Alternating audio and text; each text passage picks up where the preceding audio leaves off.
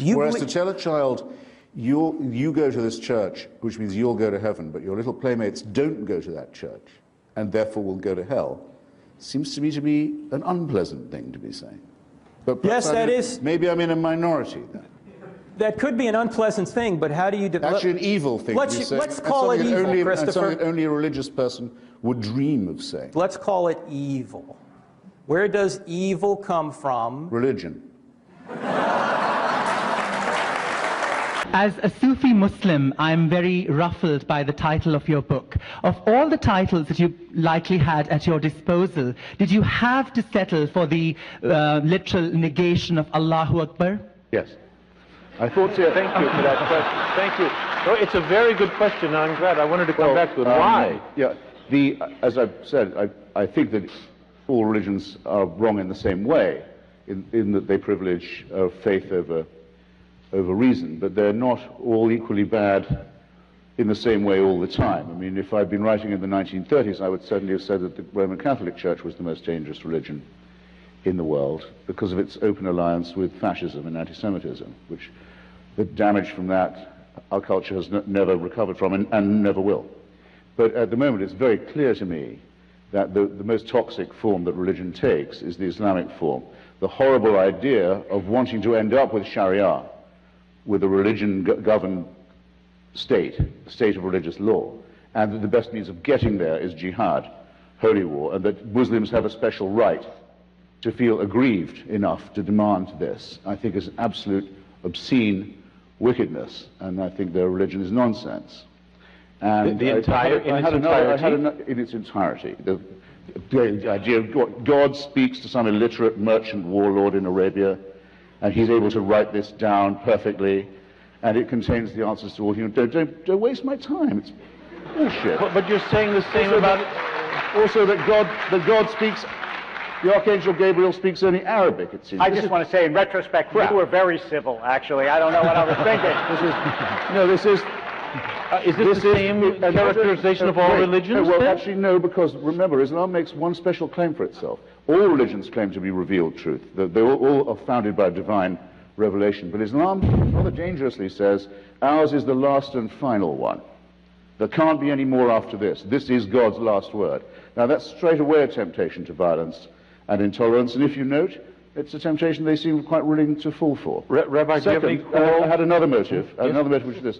If you remember Dick Gregory, the older comrades here will, great black comedian and civil rights activist, when he came to write his memoir, he called it nigger. Right. It upset a lot of people, including his old mum, who called him and said, Why are you doing this? And he says, Mama, every time you hear that word again, they're selling my book. so every, every Allahu Akbar reminds people that we're in a very serious struggle with a very depraved religion. And Well, um, and- that's- and that- you that- make no and that- even that- for that there are Sufi- and that our help is available. friend, you, you, you give no quarter? I, I, look, he believes in the prophecy of Muhammad. I'm sorry to say, I, I think he's been at best conned. Yeah. Our time is ticking down. In other words, we don't particularly welcome the idea of the annihilation either of ourselves or, or of the uh, entrop- entropic heat death of the universe. We don't like the idea, but there's a good deal of evidence to suggest that that is what's going to happen. And there's very, very little evidence to suggest that I'll see you all again in some theme park. I, there's absolutely no evidence for that at all. So I'm willing to accept, on the evidence, conclusions that may be unwelcome to me. I'm sorry if I sound as if I'm spelling that out. Probably about 180,000 years ago, an appalling global warming crisis occurred. And the, the estimate is that the number of humans in Africa went down to between 40 and 30,000. This close to joining every other species that had gone extinct. It's- There's a certain arrogance to this assumption that all of this, all of this extraordinary development was all about us. The tremendous wastefulness of it, the tremendous cruelty of it, the tremendous caprice of it, the tremendous tinkering and incompetence of it, never mind, at least we're here. The whole universe was designed with just you in mind. There's no, there's no claim I know how to make that says atheism is true, because atheism is the statement that a certain proposition isn't true. So uh, I wish you'd get this bit right. But I would say, yes, I think we have free will. And when asked why I think so, I would have to take refuge in philosophical irony and say, because I don't think we have any choice but to have free will. But the Christian answer is, of course you have free will. The boss insists upon it. Christopher, I've, I've got to call you down on refer- referring to circumcision as genital mutilation. My son cried more at his first haircut than he did at his bris. And You statistically, weren't doing it right then. statistically the, the only long-term effect that it seems to have on people is it increases their chances of winning a Nobel Prize. I can't, um, I can't find the, the um, compulsory uh, mutilation of the genitals of children a subject for humour in that way, or flippancy in that way. Maimonides says very plainly that it's designed to repress uh, sexual pleasure, to deprive us, uh, a, ma- a male child as far, far as possible of the opportunity of that. Uh, the full excision, um, uh, not just the snip or the, the, the full mandatory, mandatory covenant is fantastically painful, uh, leads to trauma, um, leads to the dulling of the sexual uh, relationship, and uh, can be in itself life threatening at that moment. We have the records, I can show them to you, of hundreds and hundreds and hundreds in the United States of boy babies who've died or, or had life threatening infections as a result of this disgusting practice. That you, that a person as humane as yourself, can sit here and, be, and think of that as a fit subject for humor shows what I mean. Religion makes morally normal people say and do disgusting and wicked things, and you've just proved my point for me. Shame on you for saying what you just said. Shame on you for saying it about your own son, my God. Let's move on. Yes, let's. What next? Cutting the labia of little girls. At least Judaism doesn't do that. This is a What, question. what, if, what if a Muslim was to say to you just now, my little girl cried more at her first haircut than when I cut off her clitoris? What would you think of me if I was to say such a disgusting thing? Well, Remember, we are not talking about detail here. We're talking about whether religion makes people behave better or not. You're Joseph Stalin. You've taken over Russia. You've been educated in a seminary in Georgia, by the way.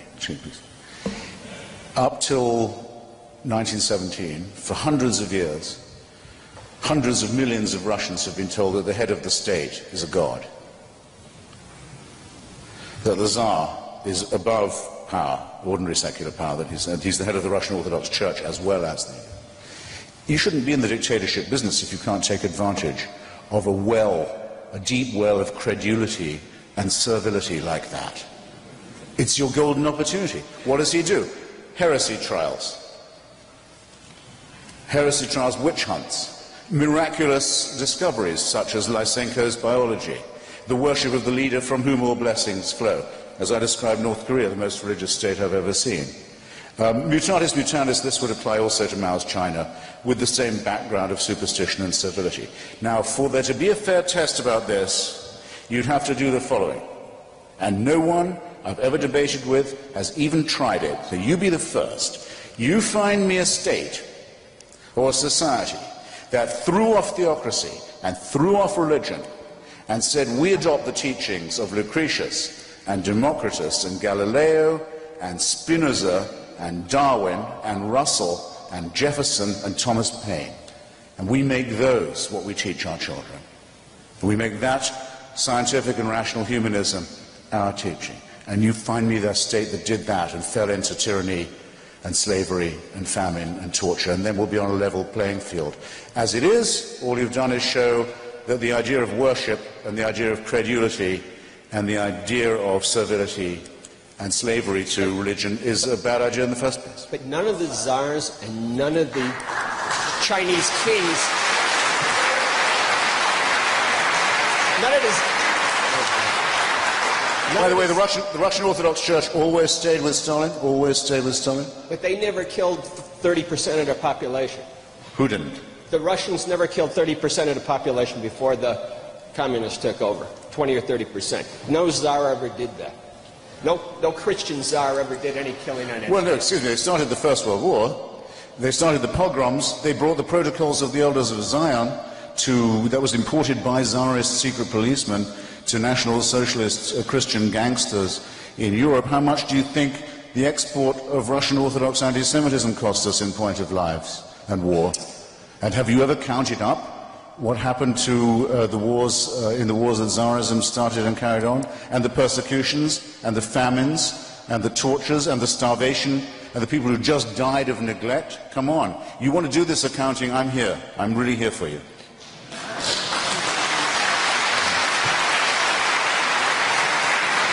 Or what the Serbian or what the Serbian Orthodox and the Russian Orthodox have just done in the Balkans.